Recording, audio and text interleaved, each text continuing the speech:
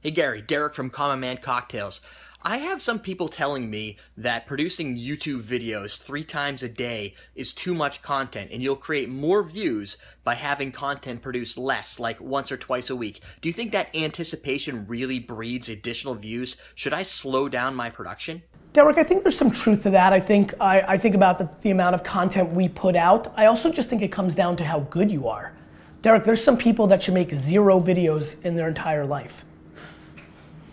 I mean, it just comes down to your skill set, right? So, so do, do I think having a scheduled time, not filling up people's feeds, or there's some, you know, are there some tried and true things that YouTube knows from a, a big data standpoint? Yes, I do. And actually, I think we break them a lot of times because I just want to.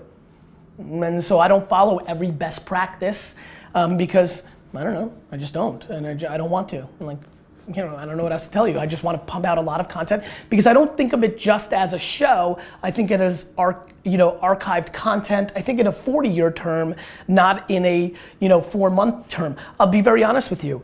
I'm not worried that I have 300,000 or so subscribers and I should have a million. I just don't care. There's just a lot of people that have 4 million subscribers on YouTube that are not as happy or successful as I am. That is not the metric. I think a lot of people get caught up in just the numbers.